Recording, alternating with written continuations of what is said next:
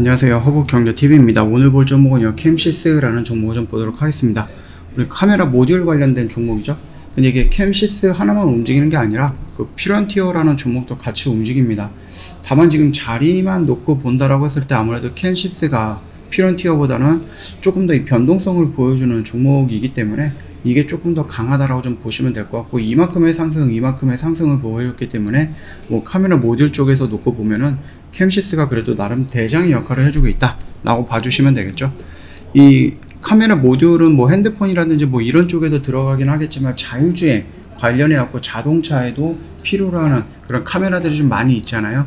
그런 부분도 지금 들어간다고 좀 보시면 됩니다. 그래서 최근에 이제 뭐 자율주행 관련해 갖고 뭐 인포뱅크라든지 모트렉스라든지 모바일 어플라이언스 움직이는 모습들도 같이 연동시켜서 같이 보면 되지 않을까 싶습니다.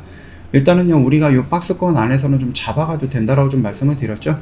그러면은 여기서 잡았다. 그럼 목표는 어디입니까? 여기입니다. 물론 이제 중간에 보면 이제 매물대도 있고 전고점 라인도 있기 때문에 여기 언저리에서 저항받고 눌릴 가능성은 있습니다. 그럼에도 불구하고 눌렸다가 가더라도 여기 정도까지는 한 번 더 갈 수 있지 않나 라고 좀 보면 될 것 같아요.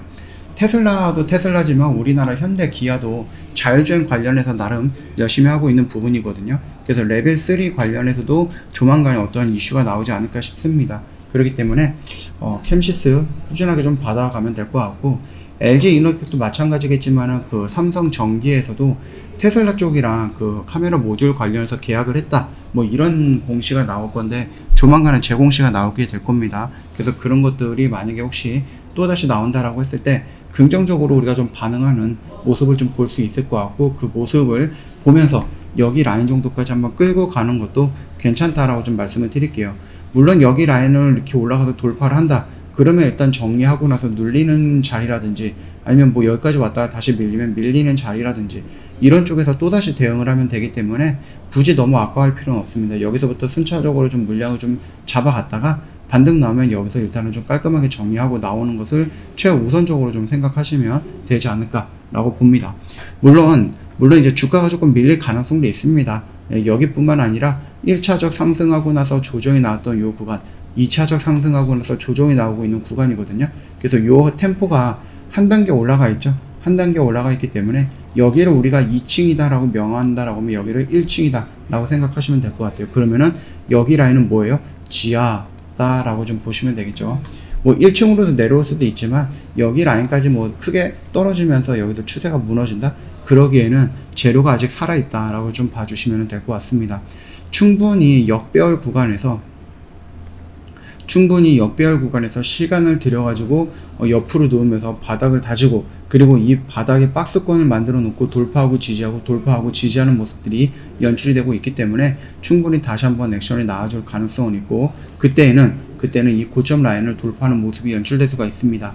그래서 이전의 고점은 우리가 뭐 꼭 돌파를 한다라기보다는 이 밑에서 끌어올린다라고 하면 여기는 일단은 목표가라든지 아니면 여기는 일단은 좀 어, 정리를 해야 되는 그런 자리다라고 생각하시는 게 맞는 것 같아요. 그 흐름 좀 체크하시면서 여기까지 한번 끌고 가자 라고 좀 말씀드리도록 하겠습니다.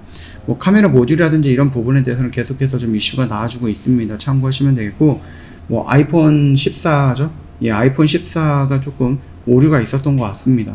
그래서 이게 어, 삼성에는 호재가 될 수 있고 호재가 된다는 것은 삼성 핸드폰이 많이 팔린다는 거고 많이 팔리면은 그쪽에 들어가는 카메라 모듈 캠시스가 납품을 하고 있기 때문에 캠시스의 어, 납품량도 많아진다라는 거겠죠. 네, 충분히 매출적으로도 긍정적으로 흘러갈 수 있지 않나 라고 생각합니다. 그 점도 참고해 주시면 될 것 같습니다. 저 홈페이지 오시면은요 이벤트 내용 확인 가능할 거예요. 1년에 150만원인데 굉장히 저렴하게 모시고 있습니다. 할인폭 굉장히 많이 해드리고 있죠? 이거 혜택 놓치지 마시고 꼭 참고해 주시면 될 것 같고 저희 카카오톡 채널 오픈을 했는데요. 카카오톡에 들어오셔갖고요. 허브경제TV라고 입력을 하시면은 저희랑 어, 대화가 가능할 겁니다.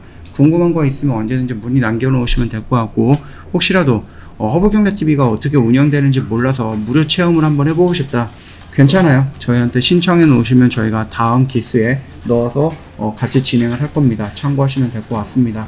어, 궁금한 거 아니면 뭐 상담을 원하시면 언제든지 요청해 놓으세요. 저희가 자세하게 또 안내해 드린다. 이렇게 좀 말씀을 드리겠고요. 오늘 시장도 뭐 그렇게 좋은 시장은 아니었습니다. 예, 좋은 시장은 아니었지만 그래도 갭으로 하라 그래서 잠깐 밀렸다가 반등이 이만큼까지 나왔기 때문에 5장은 그래도 조금 나쁘진 않았다. 이렇게 좀 말씀을 드리겠습니다. 이게 연속성을 가지고 가기 위한 양봉 반등인지 그거는 우리가 예측할 수는 없겠죠. 그렇기 때문에 최근 시장은요. 예측하고 대응하기보다는 현실을 좀 보면서 현재의 모습을 대응을 하는 것이 맞다라고 생각을 합니다. 그 정도 참고하시면 될 것 같아요. 오늘은 좀 고생 많으셨고요. 어, 영상이 도움이 됐다 그러면 구독과 좋아요 한번 부탁드리겠습니다. 편안한 오후 보내시고 내일 또다시 뵙도록 하겠습니다.